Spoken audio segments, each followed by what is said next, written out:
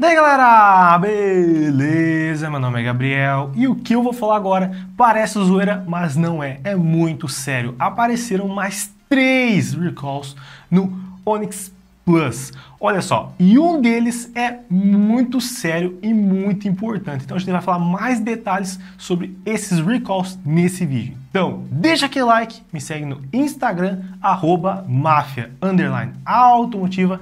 Se inscreve se ainda não for inscrito e bora pro vídeo!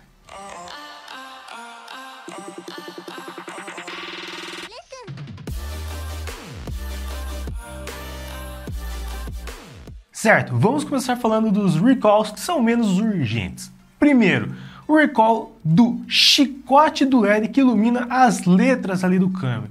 Diz que dá alguns problemas ali e tudo mais no chicote e simplesmente para de acender. Então imagina, está ali no escuro, alguma coisa assim, você não consegue ver qual posição está o câmbio ali, não é legal, né? Por mais que tenha ali no painel, o certo é ter iluminação ali, tem que funcionar, então tem que ter um recall para resolver esse probleminha.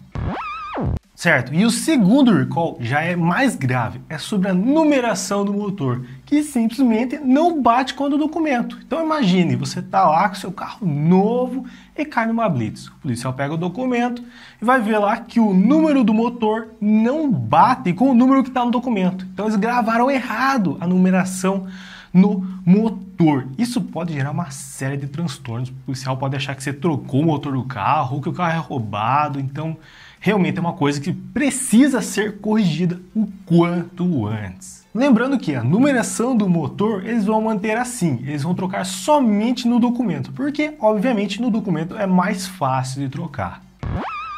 Certo, e agora o recall mais urgente e até mesmo o mais inacreditável. Mesmo depois de ter todos aqueles problemas com o motor explodindo e pegando fogo, tem mais um recall de vazamento de combustível, só que não é lá na frente, e sim lá atrás. Então, a princípio, nós não temos nenhum caso do carro pegou fogo por causa disso, mas nós temos casos e vídeos de pessoas que tiveram vazamento drástico de combustível ali, tipo, muito mesmo. Eu estou colocando aí na tela para vocês verem. Então, dá para ver que está vazando bastante combustível por um Y que tem ali embaixo onde eles chamaram lá no recall para substituir essa parte aí, porque diz que estava fora do especificado. Mas aí eu fico me perguntando, como que eles não viram que estava fora do especificado antes? Só viram depois que o carro já estava sendo vendido.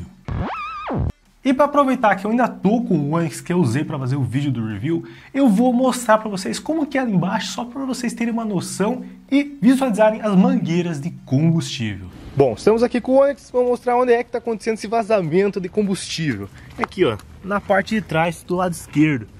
Ó, tá vendo tem algumas mangueiras aí de combustível? É nessa região que está acontecendo o vazamento. Então não dá para saber se engate rápido ficou muito baixo, até porque eu acho que não precisaria ter esse engate rápido ali. Então é por aqui que acontece o vazamento de combustível. Bom, nesse pedacinho que eu mostro ali, não dá para perceber nada de errado, até porque parece que esse Y que dá o defeito fica mais para cima ali, né?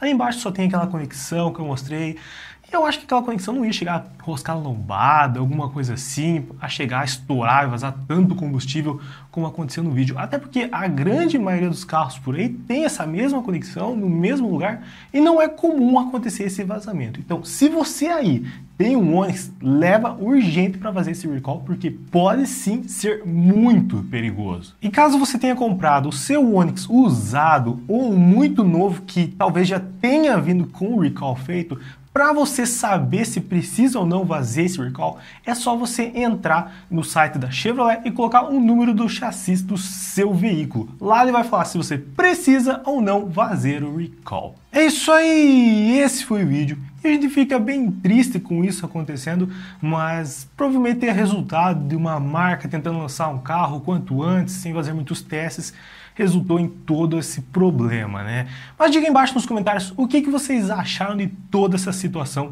e junto com o seu comentário deixa aquele like no vídeo para que eu possa trazer mais vídeos assim como esse. Eu espero que tenham gostado desse vídeo e deixado aquele gostei. Então, falou!